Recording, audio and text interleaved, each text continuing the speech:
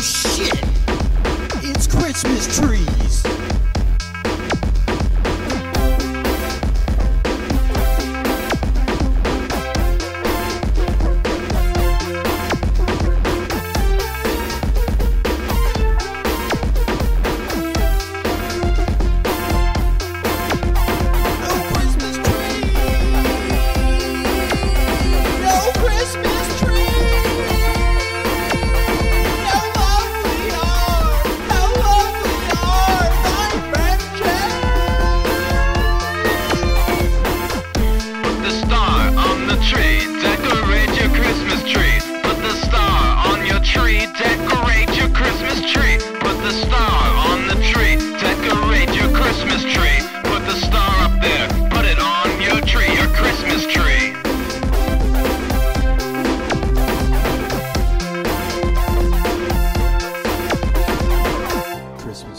Always easy. It wasn't, it wasn't always fun at all, actually. Sometimes some of the worst, worst memories come up around Christmas time. It's, it was hard. It was hard for our family.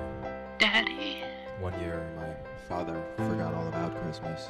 why is the snowman crying? Came home uh, like December 28th or something uh, from a bender. He tried to make up for it. He gave us just stuff out of his pockets, but mostly bottle caps and loose change.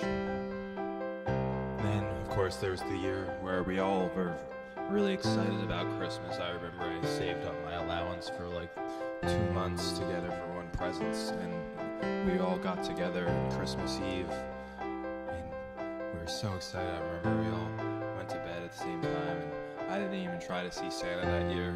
But then when we woke up, we realized that Christmas completely forgot us. Daddy,